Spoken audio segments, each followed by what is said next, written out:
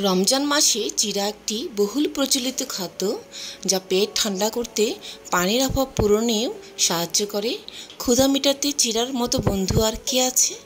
আসসালামু আলাইকুম, সুপ্রিয় দর্শক, আমি বলছি দই চিরার কথা। যতটুকু জানি, প্রতিটি ঘরে ইফতারের আয়োজনে দই চিরা অবশ্যই থাকে। এক একজন এক এক উপায়ে তৈরি করে। তো আজ আমি আমার রেসিপি শেয়ার করতে যাচ্ছি। তো দেখিনি কী কী লাগছে উপকরণে? চিরাগুলো একটি বলে নিয়ে নিলাম।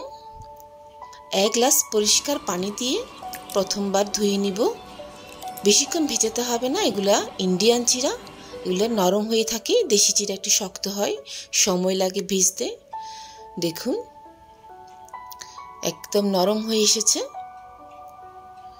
তো আমি একে একে যা যা রেখেছি, উপকরণ সব বলে দিয়ে দিচ্ছি। পানি দিয়ে দিব। মুড়ি, খই, দই দিয়ে দিচ্ছি। যাদের দই পছন্দ হয় না, তারা চাইলে স্কিপ করতে পারেন।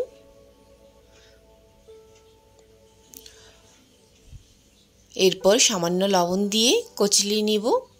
কিছুক্ষণ অপেক্ষা করে আবার ভালোভাবে কচলি নিব।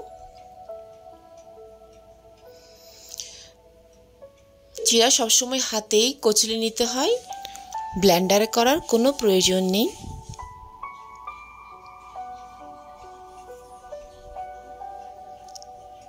সব শেষে নারকেল দিয়ে দিব দুই টেবিল চামচ।